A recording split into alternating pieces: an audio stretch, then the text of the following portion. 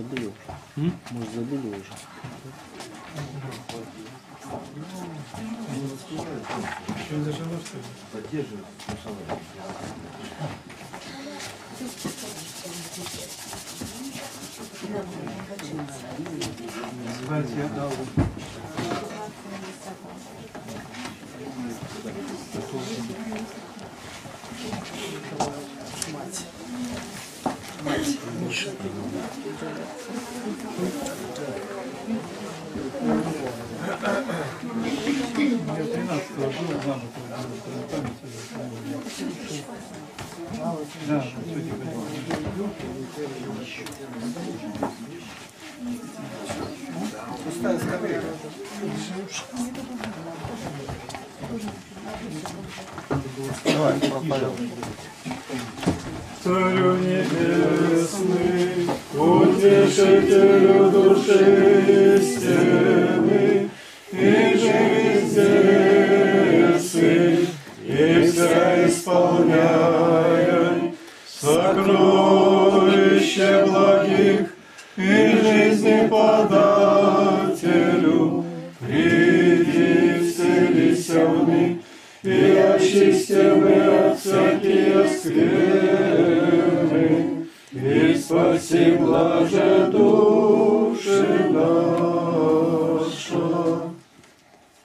Отец наш Небесный, мы просим Твоего благословения на это собрание. Во имя Иисуса Христа благослови нас. Мысли направь к горнему. Путеводи нас Духом Твоим святым. Мы благодарим Тебя, что продлил нашу жизнь до сего часа. Позволил нам собраться. Да не будет напрасным хождение наше во дворы Твои, но чтобы имя Твое святое прославлялось через нас всюду. Тебе слава за все. Отец, Сын и Святой Дух. Аминь. Аминь. Так, быстро заходите ту скамейку, занимайте быстрее. Оля, подайте вперед.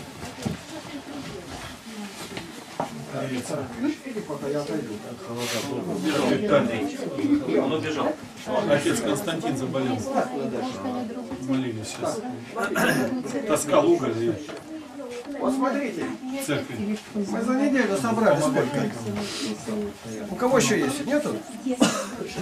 Интересно, чужие люди стали нам давать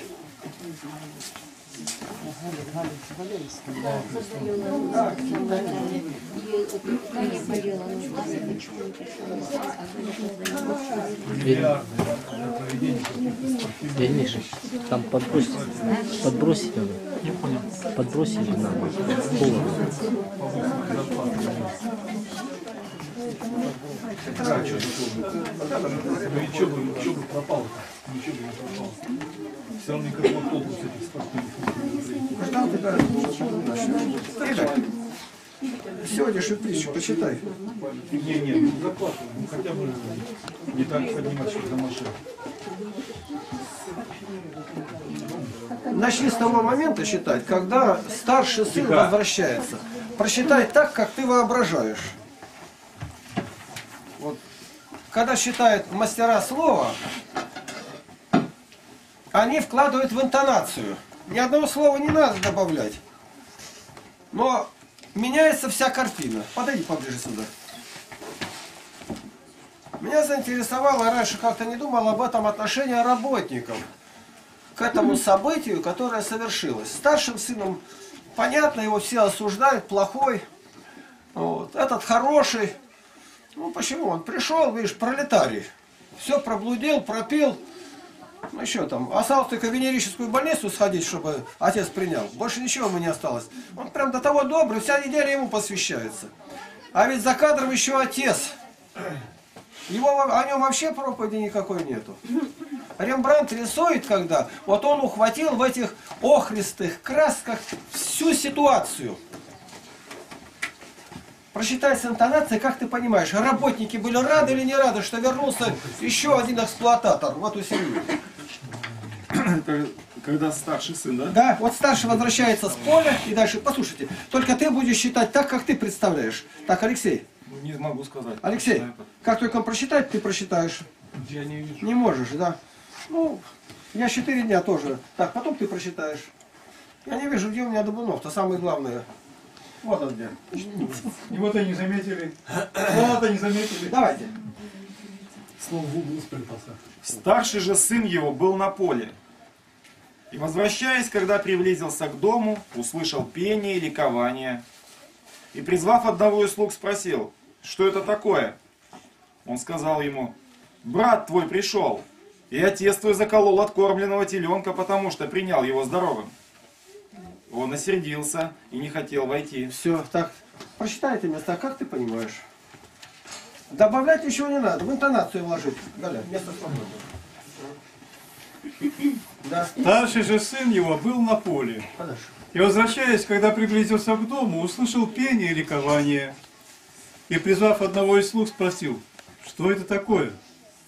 Он сказал ему, брат твой пришел, и отец твой заколол откормленного теленка, потому что принял его здоровым. Он осердился и не хотел войти. Отец же его, выйдя, звал его. Ну, тут дальше уже, это другая уже ситуация. Разговор идет с отцом. Так, передайте, пожалуйста, брату Игорю, пусть он прочитает. Нет, не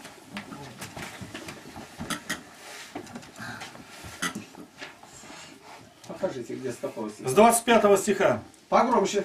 Старший же сын его был на поле, и, возвращаясь, когда приблизился к дому, услышал пение и ликование, и, призвав одного из слуг, спросил, что это такое?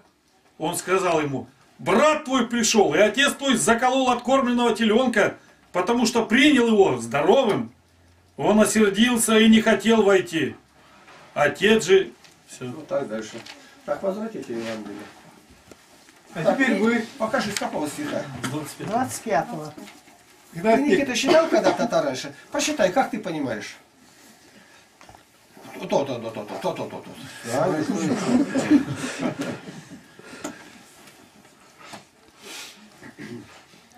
Да, Старший же сын его был на поле, и, возвращаясь, когда приблизился к дому, услышал пение и ликование. И, призвав одного из слуг, спросил, что это такое? Он сказал ему, брат твой пришел, и отец твой заколол откормленного теленка, потому что принял его здоровым. Он осердился и не хотел войти.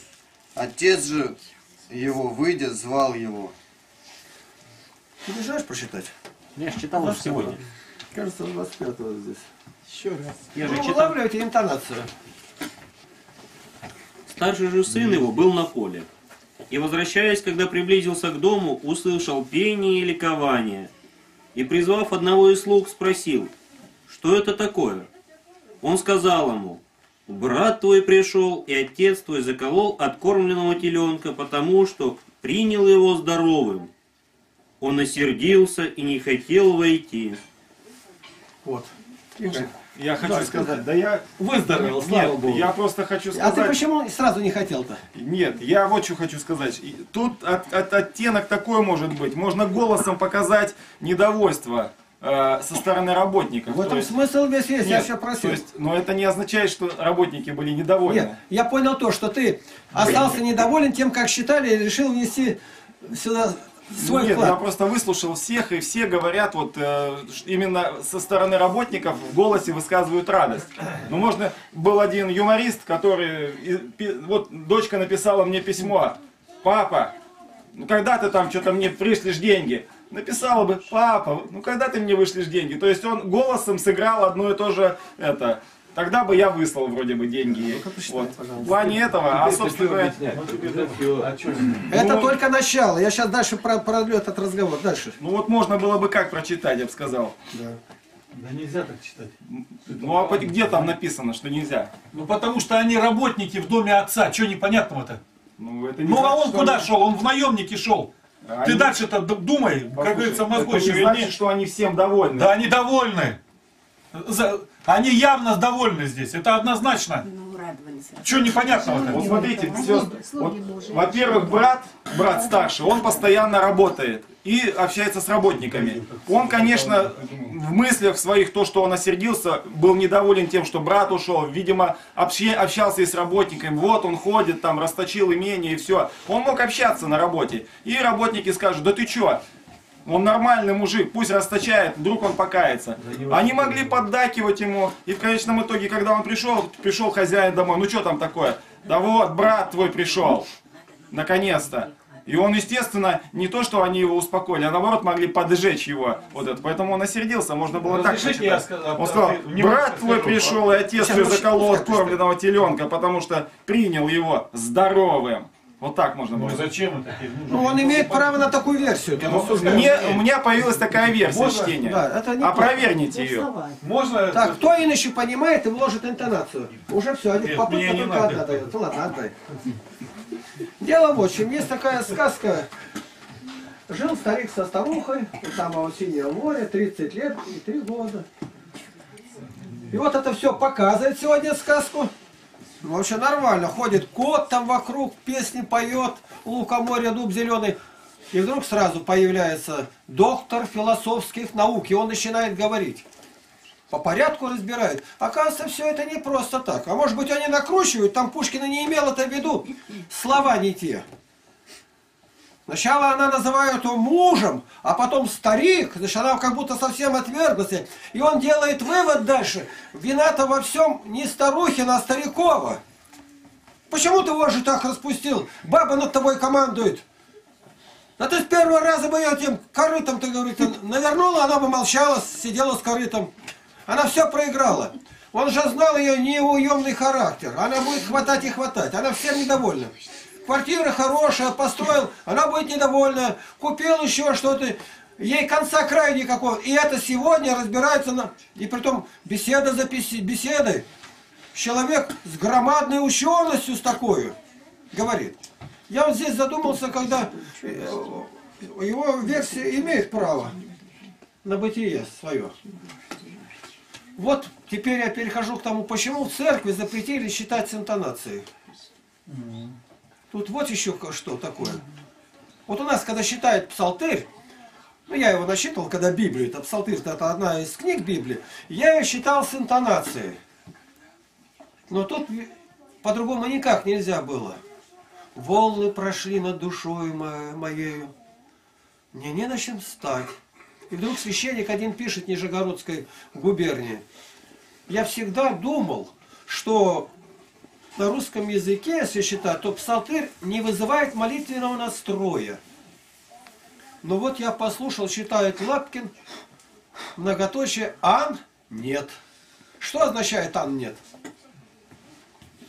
Ну, как, как я сам понял? «Ан», запятая, нет и восклицательный знак. Ну что, надо сказать, глубоко, глубокомысленный священник, слава богу, То прочитал. есть у него смещение понятия пошло в другую сторону. Оказывается, на русском языке и это вызывает молитвенный настрой. Он говорит, вы сами послушайте. То есть он читал на русском языке псалтырь до этого, а так как у него Да, не было, он у него не было опыта чтения Да. с интонацией. Вот когда я начинал Библию читать, вот у меня супруга не даст даже соврать, и мы прямо это советовались, как мне правильно читать. Я вслух читал Библию.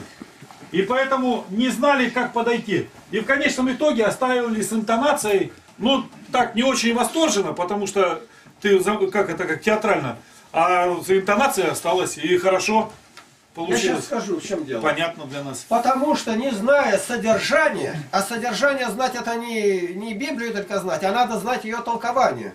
Мы говорим, были переводчики, которые переводили, переводили Библию. Ну там с арамейского Евангелия от Матфея, с греческого э, на русский язык переводили Новый Завет.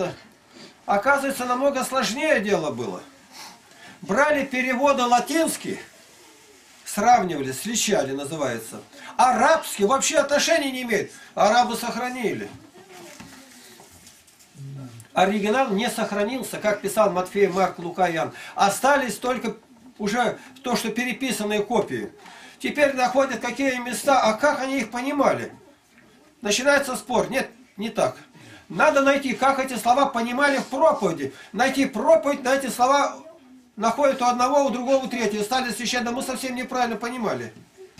Григорий Низкий толкует совершенно не так, как мы понимаем слово. И тогда значение слова по-русски было поставлено другое. Переводить на Евангелие, это не переводить обыкновенную книжку, там Пастернака взять, перевести на английский язык. Ну, такие писатели, как Набоков, Владимир, это очень редкие, их называют кентавры.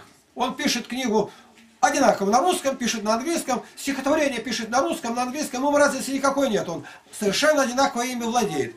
Но переводчик, он не может совершенно одинаково владеть, ну, такой как Мелор Стуруа. Это переводчики, которые работали в латинских странах, при президентах рядом были, они переводили. Все остальные уровнем ниже. Я разговариваю с Александром Менем. Он работает еврей. У него огромная ученость была, энциклопедист самого высшего класса. Я говорю, вот Библии переводили, как вы как переводите? Я работаю с оригиналами, с еврейскими. Я говорю, а вы могли переводить так, вот как Хвольсон Давид Аврамович, он переводит большую часть Ветхого Завета? Да вы что? Нет, конечно. У него ума так много, что он понимает, что у него ума не хватает. У меня знаний достаточно, чтобы понять моими знаниями, что я мало знаю. Вот мне это знание дано. И он говорит, нет, мои знания по сравнению с тем, что Хвольсон, доктор филологических наук, еврей, переводит. Нет, конечно. Папский переводит. А знает ли он? Он пишет учебники для еврейских школ. Грамматику. Знание его выше Равинского. Выше профессоров еврейских. Это псалтырь, переведенный им. Евангелие от Матфея им. А его даже нигде и нет, и не в святых нигде, как Ездр. И поэтому, чтобы читать правильно с интонацией, нужно понимать, что там заложено. И вот чтобы понять, слуги эти как относились, рады они были, не рады, надо найти хоть у одного святого отца, что они смотрели на это, как. Был один старший, один начальник, а теперь два. А какой он поднабрался опыта-то какого? Ну что, старший был недоволен, это понятно. Растащил имение свое, живя распутно, все. А это добавляет с блудницами. То есть он откуда-то слышал более подробную биографию своего братца, с чем он пришел. Конечно, тут понятно. А скажете, а в житиях бывало ли такое? Я спрошу, где в житиях было такое, чтобы... Ну, отец говорит, все мое твое. Что тебе тут, о чем говорит? А этого надо было искать. Так, чтобы позавидовал кто-то родственник тому, что сын спасся. Получил большую награду. Это редкое житие Варлама и Саафа. Это такая балаваряне описывается. Ее, если ты поймешь смысл ее, ты потеряешь покой. Был Варлам, его никто не знал, а он переоделся и ходил и проповедовал. И вот он явился к царскому дворцу и, и стал искать встречи сыном царским. И подошел так, что у меня есть такое сокровище.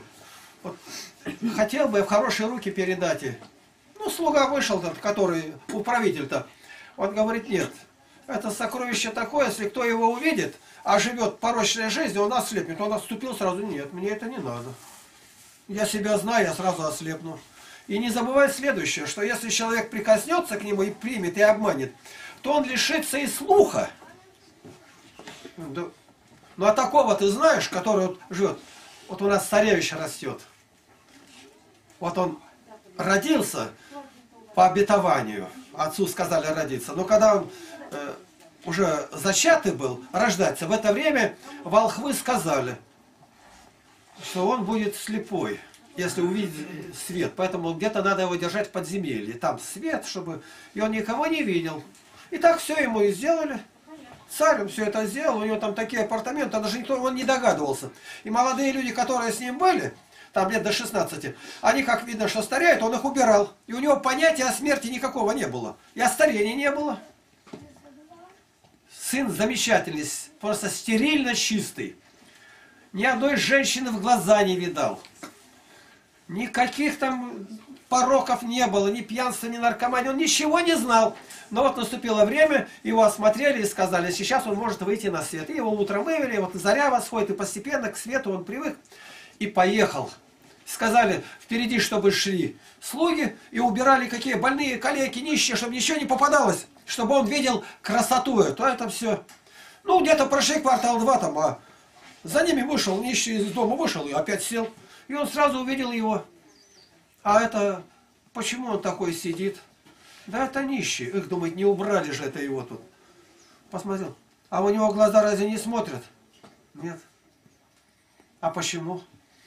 Ну, болезнь такая. Так, так и болезни есть. Он не знал ничего. А почему он такой? Это болезни такие есть. А за болезнью что будет? Ну, умирает человек. Как умирает? Выходит, и я умру. Ему ничего этого не надо уже стало. Что ему показывает-то? Понятия о смерти никакого нет. А впереди тогда вышли девицы, танцуют и играют, и эти бубенщиками гремят. И когда его обратно вернули, отец спросил, понравился? Ну, все понравилось. А больше что? Но когда он спросил про этих, которые танцовщицы-то были там, пусть и рай-то, а кто это такие? А Один, который рядом был, это, говорит, чертовки, из-за которых мужчины страдают и погибают из-за них. И когда отец его спросил, кто больше всего понравился, на пути сады, какие озера было, лебеди, он говорит, больше всего понравились мне чертовки, которые губят мужчин. Он их не знает, для чего, ничего, а уже в сердце это легло. Это уже первое семя яда. И вот теперь Варлам, когда беседует, и он понимает, что и Асафа надо вывести, и вышел, и он с нам стал говорить о сокровище Христе. И он уверовал. И когда он уверовал, дальше случилось чудо. Индия вся обратилась. Индия, это, это документально все. Это жития святых-то. Вот самое страшное дальше идет. Варлам-то хороший, всему его научил, но показал, главное, это монашеское делание. Это умная молитва. Это внутри себя надо смирение идти. Где? В мире ты этого не найдешь. Это надо только в пустыню. И он его в пустыне, Варлаама, будет искать три года. Это не три дня. Представьте, день проходит, он садится где-то там в пустыне. Корешок выкопает, поживет царевич. Следующий день проходит год, нет, он ищет и ищет, учитель наконец находит. Так он, когда пошел в пустыню, весь народ рыдал, Индия двинулась за ним в пустыню. Но вера-то в нем была уже заложена евангельская, с монашеской смешанная. Индия сегодня была бы 2 миллиарда, были бы верующие христиане. Их нету. Почему? Монашество сдвинуло все в обратную сторону. И они вернулись домой, а дальше что было? Другие правители. Почему сегодня нам не растолковывать? И когда считать это житие, у тебя должна быть такая интонация с спазмами в горле. Что мы сделали? Два миллиарда бросили, чтобы внутрь себя и сихазмом заниматься Иисусовой молитвой. Думать надо. Это я вам для размышления кидаю на меня нападает, вы о монашестве не имеете правильное представление, а мне зачем его иметь представление, когда это реально, это жития святых? И так понятно. Вчера в интернете на нас было нападение. Наконец-то. И нападение, я не буду называть имена, кто догадается, если пожелает сам себя назвать, пусть поднимет руку. Кто послужил причиной этой, этой нападки? Там зашла одна Валентина у нас, э, она пишет Валентина, и вплотную цифра 12. Что она означает 12, не знает. И вдруг она 12 подряд тем захватывает в один день. И такая ее не тронь, она, ну я ее могу, как администратор, я могу сейчас только щелкнуть, ее никогда не будет, и все материалы одним щелчком. Ее, но я вижу, что ее трогать нельзя она мужчина там или женщина под этим именем Валентина. И она говорит так, на слова одного человека. Я бы мог не говорить кого, но это именно наш брат. Она говорит, какое кощунство. Да еще осуждает патриарха. Видно, вы не православные, а я пришла на православный форум. За такие слова и сравнения будет вам наказание Божие. То есть вы оскорбляете помазанника Божьего. Это концовка. Я тогда Володе говорю, это Володя пишет. Володя, ну-ка разберись, кто там впереди перед этим был, что она там могла прочитать. Вам интересно? Это серьезное обвинение. Мне ложиться спать, а у меня сна, говорится, настоящего нету. Ну-ка разберись, Володя. И он все это написал. Один из наших братьев выставил материал. Так. За 5 апреля, как я понял, Москва. Так, что-то еще. Патриарх Московский, я Руси Кирилл сказал, это в 2010 году, 5 апреля. Кирилл, он считает, что россияне э, настоящие, э, настоящие россияне становятся религиозным народом. Россияне. На это один из наших братьев сказал так. Патриарх Кирилл настоящий Штирлиц. Ему надо высосать не менее двух маток. Правительство и народ, который еще ходит в храм отдавать побор в церковную казну. Это действительно так написано. Кто-то говорил так или нет? Если говорил, э, и есть еще сила воли, поднимитесь, скажите, и мы дальше разберем, что это такое. Патриарховы слова выписали, и на эти слова наш брат сказал вот так. На Валентина-то ответила вот так. Разрешите? О, ну, это хорошо. я, когда занимался на фуда, я там отвечал на вопрос там о, патриархе, там, ну, внешние, внешние сношения там. И ответил я там. Ну, я не знаю, что так ее заинтересовало сильно. Оно уже стоит, я не знаю, года три, наверное, этот материал. Что, он сказал? Ну, года три он уже стоит там. Но и не было, никто не касался темы. Ну. Она новый человек пришла, видимо, с Кураевского форума, и здесь сказала, ну слова те там не тронут, они так и стоят. Что означает, что патриарх там высасывает двух маток и э, Штирлиц и прочее? Это как? Ну там надо прочитать эту, эту э, А там почти там большая нет. статья идет о патриархе. Ну, то есть- сказал, что э, российский народ делается более, уже становится более рели- религиозным народом. Больше там ничего нету. Да, и кавычки да. закрыты. В кавычки Володя взял. Там большая статья, Володя, да, но прочитай. Там большая статья. Там это не просто что там. Почитай. я объясню сейчас. Там большая статья. Ее разбирали в теме, эту статью. И я свою реплику дал. А Игорь, когда он давал вот этот комментарий, он выставил некоторые, одну фразу взял и на основании этой фразы сделал комментарий. А почему я только эту взял фразу? Потому что у него там было выделено только одна. Я с патриархом не согласен. Определенно. Но мое несогласие выразиться должно в словах пристойных, потому что это патриарх. Я попрошу вас э, это, быть очень внимательными. Ну, вообразим, что патриарх не в Москве находится, а здесь. И я его назову там... И Штирлиц это неплохой человек-то. По идее, Ну да, по смыслу понятно. Что такое расследование, как Штирлиц сделал, скрылся в народе, узнал, да какая религиозность, с каждым днем все хуже и хуже. Вы пойдите в храм, поговорите с людьми-то. Чего там нету? Значит, я для того это говорю, чтобы будьте очень внимательны. Можно это? Это же обыкновенно э, ласковое дитя двух маток сосет. Ну чё, как будто никто русский язык не знает. Ну она там, это Валентина, она может быть непонятна, из Дубая откуда-нибудь, я знаю откуда. Я поэтому и говорю, он как ласковое дитя и как Штирлиц. Никого не трогает, все, все везде аккуратно со всеми, он ласковый. Я поэтому там и написано, он высосал двух, народ и правительство, и народ денежку несет. И правительство ему не миллиарды, а триллионы вваливает в эти церкви. Так, брат, вы всё. зайди в интернет и дай свое объяснение. Я не буду туда входить. Это, я думаю, можно дать объяснение-то. Ну, дайте, я Ну, просто разрешаю. зайди в эту. Она, она впереди стоит статья эта. Ладно. Ласковые двух- двух Так, у нас на этой неделе была у братьев встреча с еретиками. Договорились, кажется, у Игоря э, Третьякова на дому было. Нет, у Дыбунова Игоря было. У вас, да? У меня. А, я посмотрел это, у них это не, не подготовлена была встреча. Ну, она, даже я в эфир не стал ставить, она не запрограммирована была, как бы так, спонтанно возникла, пригласили незнакомых людей. Я просто хотел дать небольшое, как бы, пояснение. Я много имел бесед. Если такое случится когда-то, чтобы вы знали, как ее вести.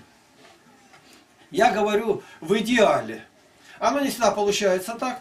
Ну, допустим, баптисты, адвентисты там говорят, а вы хотите побеседовать с нами? Мы сами должны сказать, да мы ищем таких людей. Давайте, а какая тема? Тема должна быть избрана заранее. Но они, адвентисты скажут о субботе. Адвентисты седьмого дня. Седьмой день суббота. Согласны. Начинаем готовиться. А когда? Где? Сколько? Сразу обговорить правила. Кто будет говорить? Говорит только один. С одной стороны и с другой только один. А вот когда начнутся там где-то в конце, там по полминуты, допустим, больше не надо, несколько слов сказать. А за время, когда они будут говорить, другие, кто желает, на бумажку написать и своим подавать, и он будет озвучивать, чтобы ни одного звука не было слышно. Это не всегда удается, но условия должны быть поставлены. И, допустим, с нашей стороны мы были 50 человек. Ну, от них там сколько, они хозяева, у них там было, может, 500. Договорились. Бывают такие ревнители, как у них тоже ревнитель есть. Он выскакивает и, «Ну что вы, поклонники, говорите, мы договорились. Заранее он предупредить должен зал. Если кто будет выскакивать, предупреждений никаких не будет. Сразу обязан покинуть зал. А я что буду здесь? Не разговаривать. Братья сильные за руки и вывести из зала. Это серьезное дело. Тема поднята. Мы говорим по 10 минут. А после этого минут по 5. И 2-3 человека будут сидеть. Или лучше всего, как шахматные часы. Один сказал другой. И записать, с какого по какое время говорил. Говорить конкретно по теме. Мы говорим о субботе. А что с ними говорить? У них иконы там, они мертвецам поклоняются. Это другая тема. Мы договорились, вы за этим следите. А впереди, вот это не удается, редко. Это я говорю сейчас греческий метод был. В Греции, когда выступали, в диспуты вступали они, то руководитель, наблюдающий за этим, он начинал говорить, так ты кто, православный? Православная. А ты кто? Ну, я говоришь там, кто там, я цесарианка, я цесарю, там его. Хорошо. Так, ты с кем беседуешь? Ну, я с ней. Так, э, объясни, кто такой Цицерон, во что они верят, и начинай объяснять и который главный говорит, он правильно говорит. Вот у нас когда было так, ну и сидит, избрали самого, который все знает, и говорит, вы с кем сейчас будете беседовать? Я говорю, с баптистами. А кто они такие? Я говорю, я должен вложиться минуты в две. Это люди, которые сознательно веруют, крестят только люди, которые уверуют во Христа, принимают его как личного своего спасителя, э, крещение принимают во взрослом состоянии, вот, они считают, где двое или трое со собрались, там и Христос, поэтому они рукоположение за этим не глядят, оттуда не приходят, детей они не крестят, икон у них нету, мощам не поклоняются, то есть я их знаю, все, и говорю, так они сами избирают пресвитера, старшие, которые у них рукополагают, молитвенные дома у них храмом не называется. Это спрашивает баптиста, правильно? Он говорит, так объяснил, как будто баптист. Теперь его спрашивают, а вы с кем беседуете? С православным. Ну объясните кто. И он начинает говорить православный, вот так делает. Ну не то, что он видит, а как по вере. У них есть символ веры.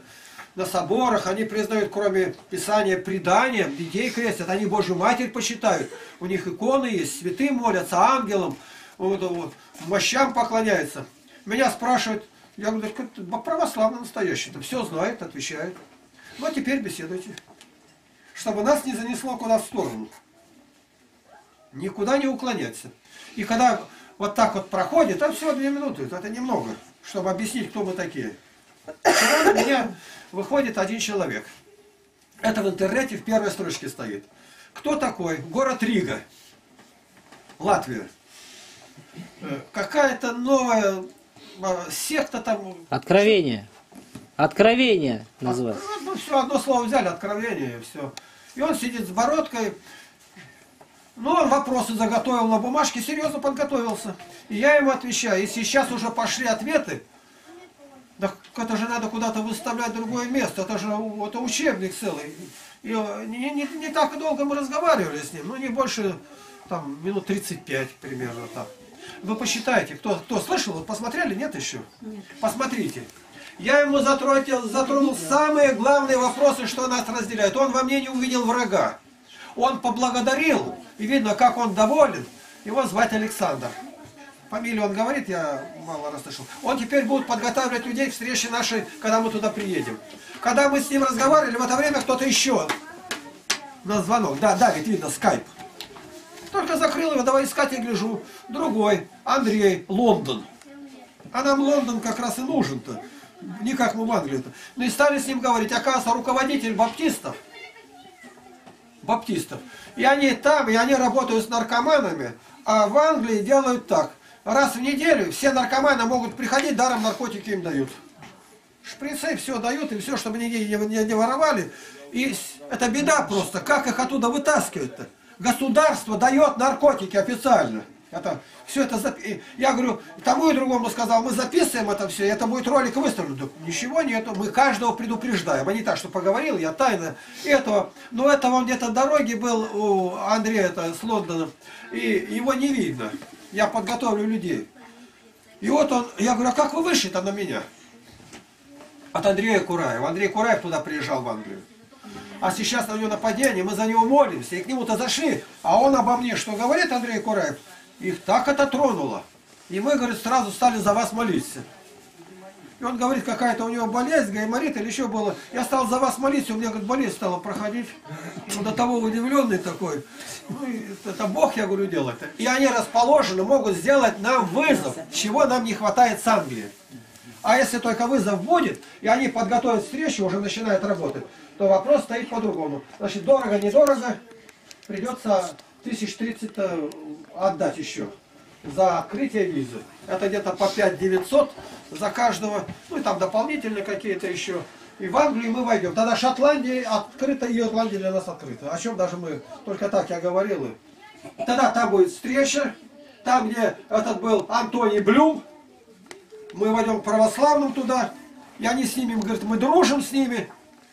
Я Андрею Кураву сказал, говорю, э, почему, когда сидели православные баптисты, когда икон не было, одна икона была, решетка на окне. И мы молились там, и мы были дружны, а вышли, сейчас все поврось. Ну, можем мы сегодня быть такие же. Андрей Кураев сказал, вот когда опять окажемся в камере, там будем вместе, а сегодня пока нет. Но, когда я с ним говорил, его все это очень трогало. Так что того звать Александр, это новые люди совсем, а этого Андрей. Помолитесь. Вы для себя это берите во внимание.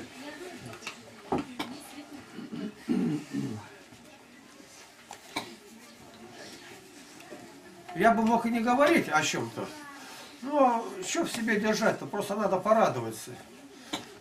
Позавчера ко мне приезжает дорогой наш батюшка, отец Павел Ермоленко. С отцом Павлом Ермоленко большие перемены. И мы записали два ролика. В первую очередь, когда я разговаривал с болящим Сергеем Козлом, в это время мы две ба- калитку открываем, попозже, никого нету. Вот как не откроем, кто-то есть, кто-то звонит. Кто? Я, а кто ты? Павел у ворот стоит. Пришлось Володе бежать и открывать. И он вошел, я к себе скорее. И он все стал рассказывать, я вопросы задавал, как его Максим раздел, как все снял, как его отверг, что дальше делал, как его попы преследовали, что делали. Но он на этом не остановился. И что интересно, пошли отзывы о нем, все положительные. Даже враги все. «О, какой батюшка, да, он так, да, да, он спокойно какой, видишь, какой батюшка-то. И он все объясняет подробно. И, а зачем он приехал? Приехал за Евангелиями. Я ему опять тысячу Евангелий дал. Который раз уже. И он все это еду едет по деревням раздает. Я ему дал то, чего ни одному человеку не дал. Несколько тысяч газетных вот этих, которые были. Я освободил, там где кочегарка у нас сверху, все это убрал, все ему отдал. И он не один. Я говорю, ты больше людей-то мобилизуй где-то. Он работает. И Новые Заветы. Новых Заветов сразу он приобрел около 15 экземпляров. Это сейчас он только больше 10-12 экземпляров, только сейчас по трехтомнику. Умножить где-то. И уже только уехал, уже отзывы. А эти, которые Евангелие-то отдаем, люди берут, что это Евангелие какое? Он, будете брать. Он знакомый заказал крест. А какой крест заказать? Он взял тогда с трехтомника, какой у нас там распятие наверху-то. Заказали его печать, сделали, штамп, и он теперь красный берет и на каждое Евангелие штамп, штампует с первой стороны с второй православный дает, и теперь они это берут запросто. Он крестом у меня сидит и на кухне штампует. Привез теперь дома сын штампует. У нас Володя Пенкин, когда стал давать записи Златоуста, бабки не хотят слушать. Это от Антихриста. Это сатана только может там это... Он тогда взял из этого вот фольга, сделал крест и на магнитофон сверху наклеил. Когда стали говорить, он говорит, ты смотри, баба, на что говоришь крест? Бабки отступили, сели, и тогда слушать начали. Крестиком отбивайся. Православные любят крест. Я, я говорю, ты что, Володя, как? А как по-другому-то? Ты больше ни разу ни одна не сказал. Они боятся этого. И теперь сидят, умильно слушают. Видите как? Аллилуйя. Значит, за отца Павла помолиться надо. И вы, когда прослушаете, кто может прослушать, э, да. Отец Павел как будто другой. А про Ваню расскажите. И отец Павел, ну я его очень хорошо знаю, мы с ним вместе работали бок о бок, 4 месяца подряд, даже больше. Он очень хорошо знает Священное Писание. Прям он наизусть цитирует и места Писания, и где. Прям сам открывает, и все. Это его отличало всегда и везде. И вот этот отец Константин, за которого сегодня, кстати, молились, он заболел, э, у них там помощников нету, привезли уголь, и вот он таскал на морозе уголь, затаскивал и за- простудился, у него очень большая температура. Мама позвонила утром, говорит, все, свалился, вчера еще служил, сегодня уже, помолитесь. И вот они с ним друзья оказались. И это в такой же, тоже священное писание, тоже открывает. Ну прям, как они двое, и надо только ему при- такие формы приобрести, как отец Павел, надо будет поговорить с ним. Батюшка наш тоже болеет. Он- Батюшка, да, ба- батюшка даже вчера на службе не был. Мы за ним так что молимся о нем. О батюшке. Да. Простым или что? Дай Бог здоровья. Я вернусь э, к отцу Павлу. Он когда говорит, рассказывает о людях, где встречается, которые приходят, встречаются как с эгоистами, как принимают, принимает, там не принимает, где люди обращаются, с чем это связано, он анализирует. Он Павел, который был тогда-то как будто другой человек даже. И все цитирует, глава стих, откуда берет, Евангелие читает, канон там называет как... Он, он ревнует. Прямо видно, что он горит, он живо так это у него получается-то, не, не, не, на- не наигранно, не для кого-то. А одна была, вы знаете, я люблю поэзию, у нас поэзии полно, начинает говорить где-то, хотите, я могу даже спеть, что-то побежал, Евангелие достал показать, а потом, я говорю, давай хоть встанем перед экраном, то посмотрим, какой ты, какой я, я к нему прижался сбоку, вот так вот. Ну видите, какой богатырь-то тут. И вот он распрямил плечи свои. И что же, думаю, он будет почитать? Он так, строительный отвес. Мое стихотворение. Да мало того, он говорит, да еще с прогласистой, как будто поет. Да Евангелие, вот единственный отвес. И он не, не так, как Витя поет, а как-то по-другому.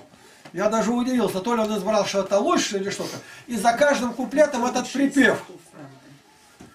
Ему это доходит. Он старается довести до других. Я о ком-то говорю, а он и знает. Рассказал, как он нас нашел. Он тогда ревновал о том, что где есть люди, которые бы веровали, не нарушали устава. Вот все было как положено. Ему кто-то сказал, что есть такой мужчина, и он будет в Коробейниково. Он приехал, там нашел женщину. Она говорит, это ее муж. Она говорит, где-то он здесь, а там человек тысяч пять было людей-то. А где вот этой толпе найдешь-то? И вдруг мужчина тут появился и рассказал, ехать надо так-то, так-то, там-то свернуть, там-то свернуть, по полям как ехать-то. И он по Теряевку приехал. И рассказывает, как я приехал в 5 часов и думаю, подожду, пока проснутся. Прихожу, а там дым коромыслом. Машины гудят, люди работают. 5 часов утра. И это все он рассказывает. Видите как? Не в один день зерно начинает колоситься. Вот услышали? И я говорил каждый раз. Возьмите и запишите. Теперь, когда идет беседа где-то с сектантами, заранее договоритесь, чтобы у каждого была бумага, не магнитофона только. Бумага и каждый записывал. А зачем? Ну, мы договариваемся, условие такое, потом вы поймете. У меня было так. Ну, сидят, допустим, 50 человек. У всех тетрадки все записывают. А пройдет время, они будут обращаться. Вы выписываете места, которые я называю, о чем и куда стрелка поведет к какому дальше стиху. Они просто просидеть, вот как они сидели, там двое у вас, и они ушли, ничего нет. Принудить к этому дать самим бумагу. У нас куча ручек, пачка бумаги, кто бы ни пришел, сколько человек мы их сажали и, и заканчиваем. Они говорят, помолимся, молимся. Если молитва соответствует нашим канонам, а у баптистов она нигде не противоречит, мы смело говорим аминь.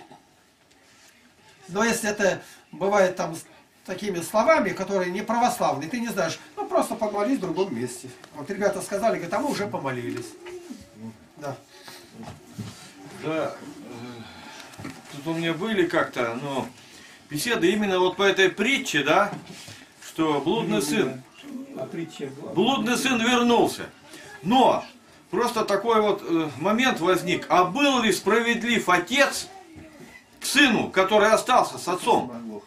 Был ли справедлив отец к сыну? Да, потому что сын ему говорит, отец, отец ему говорит, все мое твое. Но сын говорит, так ты мне даже козленка не дал. Как оно мое? Это все виртуально мое. Это только надо тебе или умереть, чтобы стало это моим, ну, отцу. Якобы он так говорит. Или же, что ты отрекаешься от всего своего наследства и отдаешь его мне. То есть, у сына-то это было условное. Так получается. Вот Так, как вот? Ответ один. Никакой справедливости тут не было. Вот. Несправедливость. То, что он нас принял, это не по справедливости, а по милости. Да. По справедливости возмездие за грех смерть, мы должны умереть. А он идет, за грешников умирает, говорит, доказал любовь свою тем, что умер за нас, когда мы были грешниками. Какая это справедливость-то? Мы отца сына убили, это наши грехи его распяли, а он отдает его за нас и прощает. Справедливость это один к одному. Око за око, глаз за глаз, вот справедливость здесь. А здесь все прощает, хоть сто раз убил. Он спрашивает Он про старшего сына. Был ли он А, я не понял, я по отношению отца говорю. А что старше? По отношению отца... с- а, это- Да, да. Что, Паш, у, не- что у сына старшего Ничего все имелось только виртуально, а не на, на- на на самом, самом деле. деле. Не виртуально. Но он даже козленка не дал ему. Он реально говорил, я тогда вопроса не расслышал, простите. Ну не знаю, хотел. Это реально. Можно? Сын работает, Он говорит, Николай говорит, что он ему даже козленка не дал, не обвинение надо, отцу не надо, он и говорит, зачем отец никогда к этому их и не приучал. Обычно, когда умирает отец, достается наследство, и они его прокутят. Хорошо, что молодой ушел раньше, до смерти отца. А после смерти отца его бы никто не принял, и он бы подох там где-нибудь у корыта у свиного. Ну, притча так именно, это притча все-таки, но реально в жизни такое встречается. Ну, и понять можно старшего. Как так? Я столько с отцом, а зачем ему козленка-то, когда все мое твое? А ты мне не дал. Говорит о полном послушании. Он работает, довольный, пьет, ест, растут дети, а отдельно повеселиться. А зачем тебе веселиться? Это веселье твое, что мы с тобой вместе, ты никуда не ушел. Значит, ну, нужно понять, что дополнительных льгот того, что мы находимся под защитой, под эгидой Бога, нам не надо никаких. Я благодарю Тебя, Господи, что Ты меня возбудил от сна, я не умер ночью. Благодарю Тебя. Мне больше ничего не надо. Я ничего больше не желаю. Ты дал мне дыхание. Я три дня не мог продохнуть, а сегодня дышу уже немножко. Благодарю Тебя, Господи. Ты дал мне друзей. Благодарю. У меня столько врагов, которые не дают дремать. Благодарю. Это от Тебя. Мои уста должны быть наполнены непрерывным потоком благодарения и славословия Божия. Мне по интернету сбр- сбрасывают и говорят, там, я сейчас не знаю, могу маленько ошибиться, то ли он митрополит, то ли епископ. Стив Тыхкарский, Петерим. И он на вас так. А Андрей Кураев его там в число нехороших записывает, говорит о нем. Ну я-то ничего не знаю где-то. А мне скинули материал, и он против вас говорит, я не, не нашел ничего там в этом материале-то. Видимо, не тот скинули. Но я решил о нем узнать, кто он такой Петерим. Что он где говорит, как встречается, где как. Он мне понравился. Он такой простой, здоровый, до нашего Игоря, вот такой похожий, видный такой, вышел с диаконом, кажется, перед храмом, поют, его люди принимают, подходят дети, благословляют, и он выступает даже против патриарха. И у него все оригинально такое. Патриарх там говорит, какие там чуть не миллиард вкладывают соловки, там никого нету. В селах вообще не на что храм построить, вот куда надо, для народа. А туда что вы экскурсии едут, кому они нужны-то? Он смелый. Я в одном месте, в другом, в третьем посмотрел, и Петерим мне понравился. Он против меня говорит, а кто я такой, что против меня не говорит? Что я? Он меня не знает, он не считал, ему только сказали. И это никакой роли не играет. Я просто еще, еще про него где нахожу, и все нахожу хорошее. Я знаю, что это не понравится, что я так говорю. Как же так ты? Это же он такой. Того я не знаю. Вы знаете одного, я увидел другого, что в интернете нашел. И при том, вот эта оригинальность его, она, говорит, уже неоднократно мешала ему. Ну, он продвигается, он доктор богословских наук, где-то там в легком месте получил. И прочее такое. Разрешите я э, о, о блудном сыне? О блудном сыне. Продолжу. Дело все в том, что блудный сын, когда там у свиных корыт, он начинает вспоминать, и первое, что он вспомнил, это я все к Игорю, что он там, интонация какая-то, я, правда, да не заметил эту интонацию. Но если он так думает про, про этих э, работников, я думаю, что это в корне неправильно. И он сразу, первая мысль, у сына, который укорит, у него не об отце мысль, а, а наемники-то у отца избычествуют хлебом. То есть, ого, он тут куска не может найти, и тут вспоминает, как наемники сидят, караваи такие, режут, потом ушли из-за столов, там вот так еще зас- засыпано все. И он это вспоминает. А, а откуда столько хлеба? Ты что, не знаешь, как жадные люди поступают? Ты там, как говорится, последний локоть отсосешь у себя. Вот что, ничего в них нету у таких людей. А тут отец явно он милостивый. Ты говоришь, там, старший сын вот там работает и все. Да старший сын об отце плохого помыслить не мог. Че он там будет ходить, про, мусолить про своего брата туда-сюда? Ну, слышал там кто-то где-то, может, что-то передавал. Главное, это тот, кто тебе платит. А так получается, это как э, притча о динарии. А ты говоришь, что, завистливый что ли, око у тебя? Я сколько тебе сказал, динарий? На твое получи. И этот столько же получит.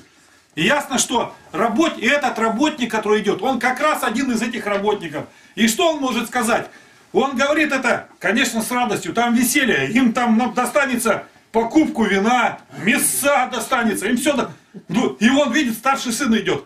И он что теперь уже? Ну, сейчас посидим вместе, там, выпьем, что, ясно, что... И он ему с радостью говорит, ну, сейчас пришел же, ты понимаешь, брат твой. Ну, этот может порадоваться. Они же все-таки братья были. Уж не, не до такой степени, что они там друг за дружкой ходили, какие-то наблюдения. Ясно, что их отец хорошо воспитывал. Почему мы должны это все обращать все в один негатив? Все плохие, все нехорошие. Да старший, младший сын и старший, они показали, что отец был отличный воспитатель.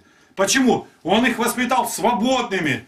Но этот младший сын, ясно, что он хотел чего-то там достигнуть, пошел. Он же не пошел там увидел чертовку.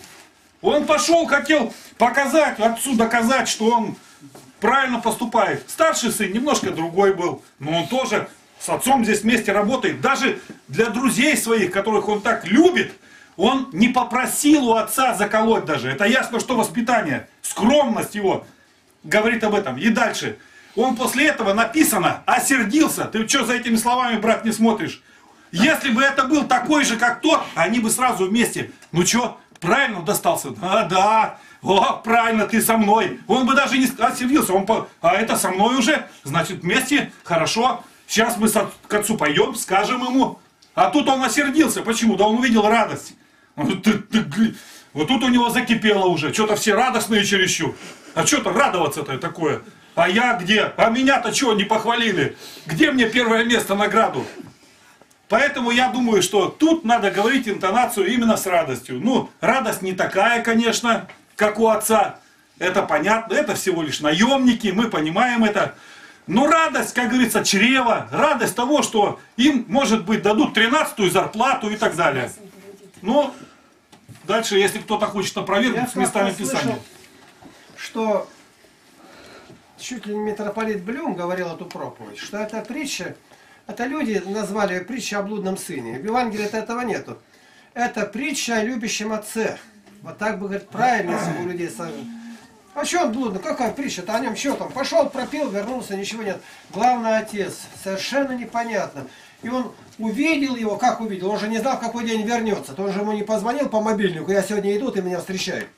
Значит, он глаза проглядел все эти годы. Он глазами-то блудный там блуждал, где, какие красавицы, какие друзья. Он видел, имение у него бывает, как у Березовского, скоро ничего не будет, а ни о чем не думал. Ну, гулял и гулял. А, конечно, у него там слуга был, слуга приходит и говорит, пусто, ничего уже нету, выбрали все. Ну и все. А дальше что? И никого нигде, а куда эти мотыльки-то разлетелись? Нет ни одного. Вокруг свиньи хрюкают. Это явно, что был не к еврею нанялся, а к язычнику. Евреи никогда свинью не держат. И пойти пасти свиней, то есть это Самая большая глубина падения человека. И даже этого не давали. Да не о свиньях-то речь идет. А где мы бывали-то? Мы в этой притче должны увидеть самих себя. Я не гулял, не пил, не валялся. Но я питался этими книгами, оттуда брал. Это свиное корыто. Я увлечен был философией этой. Мне это надо было. Но евангельские крошки, когда попали, я же могу все это получить у отца моего. И мы должны это увидеть в себе, независимо от того, правильно ты неправильно жил. Неправильно питались, неправильно слушали. Уши-то наши не евангельские тексты слушали, а разговоры, анекдоты, фильмы, всякую дурь, свинячьи рожки глотали. Эта притча очень непростая. Вопрос можно? Когда говорится об этой притче, то говорится, что отец это Бог, что младший сын это человечество. И сегодня в толковании говорили, что старший, старший сын это кто? Вот старший сын, если чел- младший это человечество, отец это Бог, то старший сын это, и сегодня об этом говорили. Два и ангелы, говорит, э, стояли и думали, как же быть по отношению теперь к человечеству, проблудившему человечеству. Господь взял и спас. Бринчанинов толкует, что это ангелы. Ангелы, А, э, вот. вот митрополит Филарет Московский э, толкует, что это тоже христиане, только которые из церкви явно не выходили, не впадали в грехи, но внутри себя держали Он грех. говорит фарисеи и садукеи, а теперь говорит и те люди, которые сейчас находятся. Он фарисеев прям и садукеев прям там перечисляет. И почему говорит? Тут еще вот что говорят, что он ушел от отца. Речь идет о падших, об отступниках, а не вообще, которые в коммунистических семьях родились. Он за столом отца был, когда-то жил. Да вот в чем дело. -то. И если безбожник, он не знает, что и где. Алла, ее нет сегодня, Алевтина-то? Нету, она в путешествии. Она путешествие. Тут был такой у баптистов, он как раз Толю Петеримова и вывел на Алевтину женил, как говорится, она из Васильника была. Михальков, э, Иван Андреевич. как его звали? Иван Андреевич. А, Иван Андреевич. Иван Андреевич. Вот этот человек имел сына, который три срока отсидел. Инженер на аппаратурном заводе был Юра. Я его знал, он сейчас в Германии живет. А другой тут работал где-то психиатром, что ли. Ну, должность такая была, но неверующий. И кто-то решил его подколоть. А что толку? Ты вот веришь, у тебя сын работает, а мой вместе с твоим работает, оба неверующие, а ты верующий. Какая между ними разница? Он говорит, разница все равно есть. Случится беда, мой сын знает, куда обратиться, а твой не знает куда. Мой-то сын, он не обратился, но он все время слушал. Слушал, один-то сын-то верующий, а другой не верующий, но от меня это не зависело. А он очень ревностный был, что-то прихрамывал с войны или как был. Да его ноги не было. Он такие тайны раскрывал здесь, в КГБ, там про все это где-то, его брали где-то. Притча говорит определенно. Будет пир, будет прощение, и не вспомнится, что было раньше. Что он сидел теперь за столом отца и думал, а вот блудиста нету, как тоскливо здесь. Хорошо бы они были дружки здесь, да опять бы погуляли. Ничего это, говорит, и не вспомянется даже. Поэтому мы должны просить у Бога помнить, где мы были. Но в одни вечность это будет стерто. Иногда говорят, ну мать спасена, а сын в ад идет. Как она может в раю радоваться? А будет радоваться. У ней будут те же чувствования, что во Христе. Иисус воззрел с гневом, и она будет также смотреть. Что она отвергла любящего, умершего за них. И она будет так же думать, как Господь. Господь даст те же самые мысли. Можно еще? Э, Ну, к этому же я добавлю просто место Писания, я думаю. Здесь место Писания, э, Евангелие от Иоанна, первая глава, э, сейчас не помню, по-моему, 11 стих, написано, пришел к своим, и свои его не приняли. Пришел, это вот как раз об этих, вот это и есть старший сын. Можно?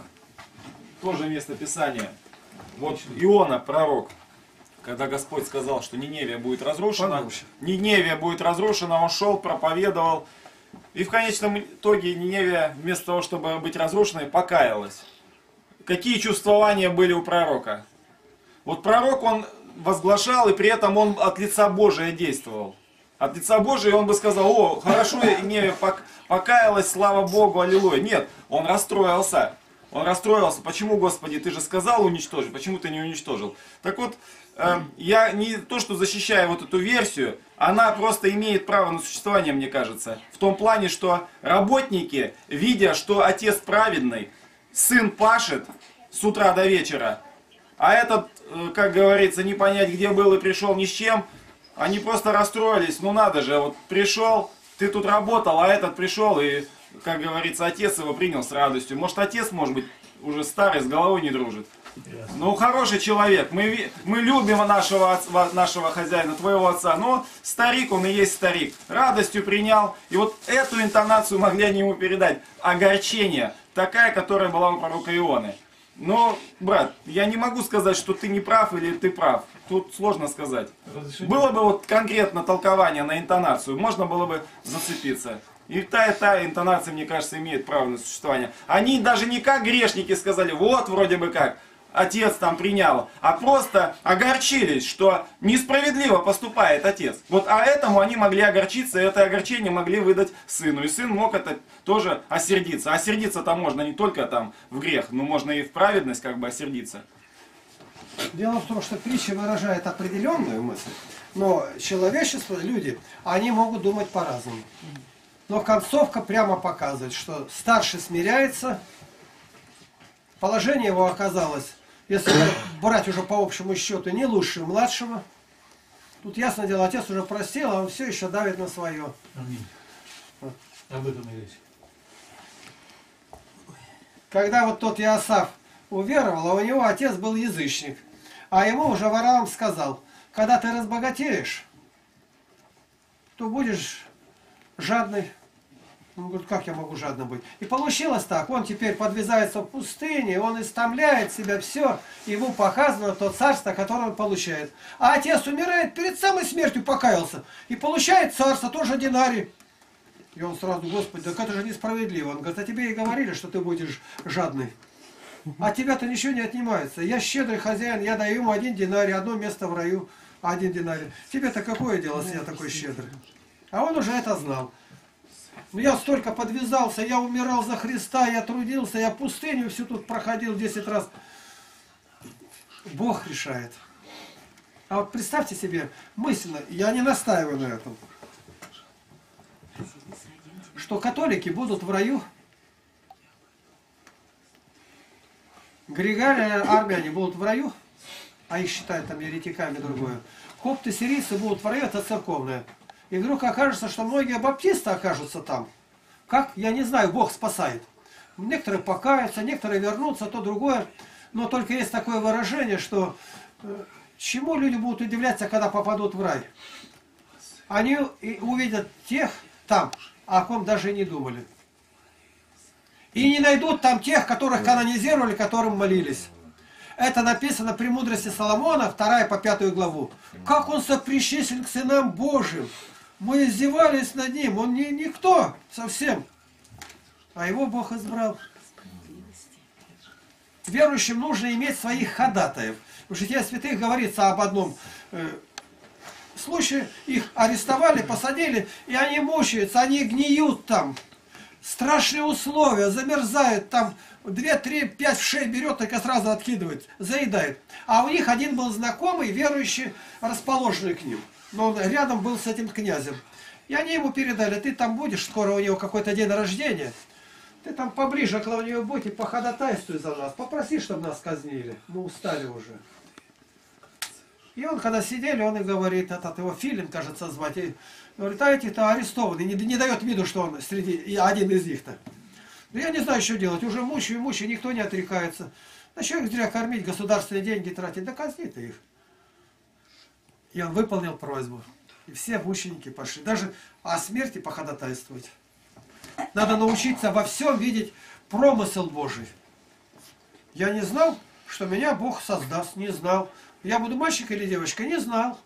Я не знал, какой я буду. Но таким меня сделал Господь. Теперь из Евангелия я должен преобразоваться в свет Христов. И идти за Ним. Все.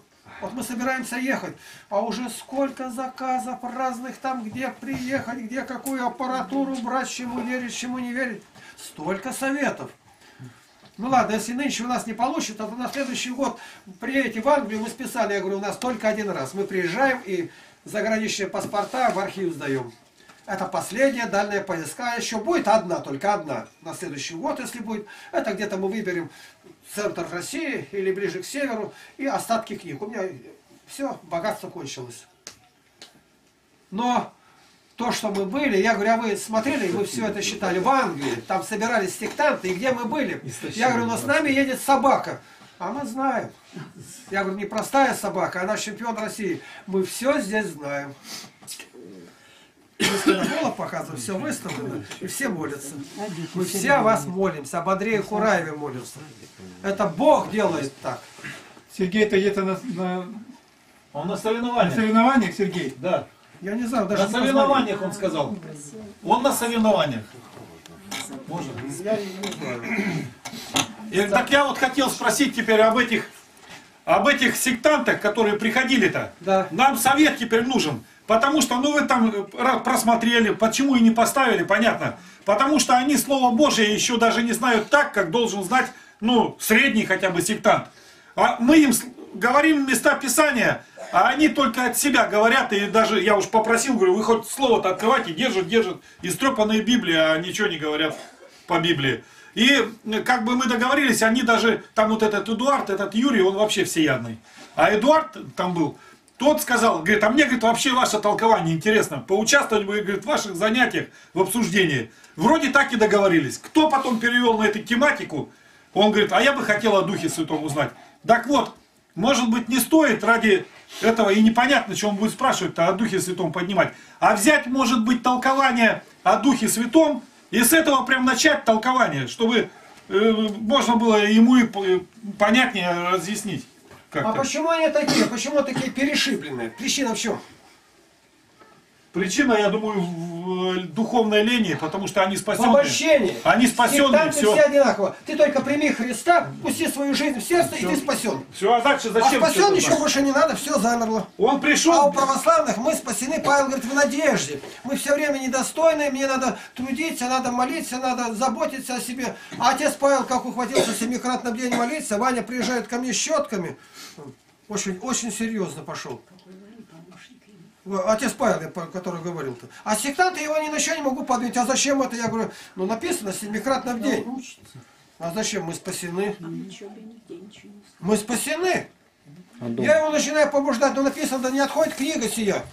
А я знаю, это написано, но мы спасены, теперь мне ничего не надо. Это страшные слова, которые люди сегодня придумали. Что ты спасен, ничего тебе не надо. Да написано, бегите. На ресталище на стадионе бегут, один получает награду. А теперь смотрите, что кто не восхитил венец с головы. А какой венец? В секте находится. Священства нет, таинства никакого нет. Поднял руку, скажет, поднимите руку, вот за рубежом так. Большое собрание. Так, поднимите руку, кто хотел бы принять Христа в свое сердце. Подняли руку. Так, пройдите вперед на постамент. Я буду молиться, а вы в конце скажите аминь. Все, садитесь. Давайте поздравим дорогих наших братьев и сестер. Все. И они вышли, они курят, они живут той же самой жизнью. Вот как можно профанировать это все.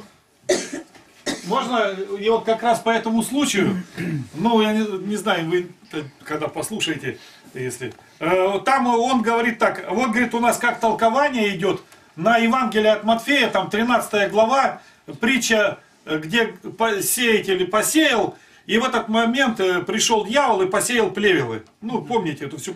И вот зашли плевелы и говорит, до последнего дня там не, вы, не выдергивайте, чтобы не выдернуть и нужные колосья-то. Э, И до последнего дня это хранится. Он говорит, у нас такое толкование, что вот у нас в церкви есть еретики, но пастырь, пастырь их не должен трогать. Потому что вдруг, э, изгоняя еретика, он изгонит и святого брата. Я говорю, здорово живешь, придумали вы себе. Вот это обуза. Я говорю, а как же написано, что после второго и третьего раза отвращайся еретика? Он даже и не слышит этих слов, ему не нужны они уже. Заблуждение во всех отношениях. Так, вопросы есть? Нет вопросов. Занятия прошли успешно. Объявление. Братья и сестры, я вот принес э, булочки, прошу вас разобрать, э, помяните рабу Марию. Маму мою, которой день памяти. А сколько? Спроси Христос. Ну, какая разница сколько? Главное... Ну, Я попутал, спрошу, а при чем тут булочки-то? Если мы так поведем. Булочки-то зачем? Ну, так вот уж принято у нас, православных. Это однозначно. Я хочу узнать, какую мотивировку этому дает-то. Так уж принято. Ну мы приняли твое принято. Так, если ничего нет, поблагодарим. Спаси Христос. Оставайтесь потом, попоете, позавтракаете и будете. Воистину, блажите Тя, Богородицу, Пресноблаженную и пренепорочную, и Матерь Бога нашего, честнейшую Херувим, и славнейшую без сравнения Серафим, без истления Бога Слова родшую, сущую Богородицу Тя величаем. Отец Небесный, мы благодарим Тебя за жертву Сына Твоего Иисуса Христа, за страдания нашего Господа, за наши грехи, за пролитую святую кровь, очищающую нас от всякого беззакония и греха. Слава Тебе! Господи, помоги нам правильно окончить эту жизнь, не сделаться отступниками, но быть верными и найденными в числе записанных в книгу жизни.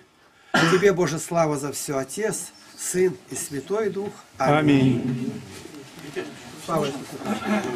Старший сын. Так, оставайтесь.